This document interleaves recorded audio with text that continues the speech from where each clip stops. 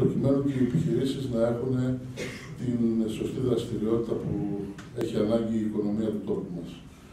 Αυτό που θέλω να ζητήσω από όλους σας και είναι κάτι το οποίο το έχουμε θέσει και σαν στόχος σαν Δημοτική Αρχή και είναι κάτι το οποίο, αν θέλετε, είναι και μετρήσιμο στόχος για τον Αντιδήμαρχο, τον κύριο Κάλφα, είναι να προσπαθήσουμε σε όλα τα καταστήματα, ανεξαρτήτως αν είναι άνω των 70 ή κάτω των 70 ατόμων οι άδειές τους, να υπάρχει πλήρης προσβασιμότητα στα άτομα με ειδικές ανάγκες, να μπορεί δηλαδή ένα καροτσάκι να μπορεί να εισέλθει σε οποιοδήποτε μικρό ή μεγάλο κατάστημα του Δήμου Ορδέας. Είτε αυτό αφορά ένα μικρό καφενεδάκι, είτε αφορά έναν χώρο τέλος πάντων που είναι καφετέρια ή κέντρο διασκέδασης ή ακόμη και χώρος στον οποίο μπορεί κάποιος να πάει και να καθίσει με την οικογένειά του να φάει να πιει κάτι.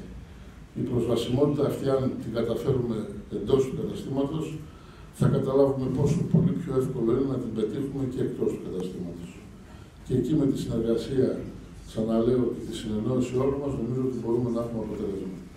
Σας ευχαριστώ πάρα πολύ. Ο λόγος σε εσάς.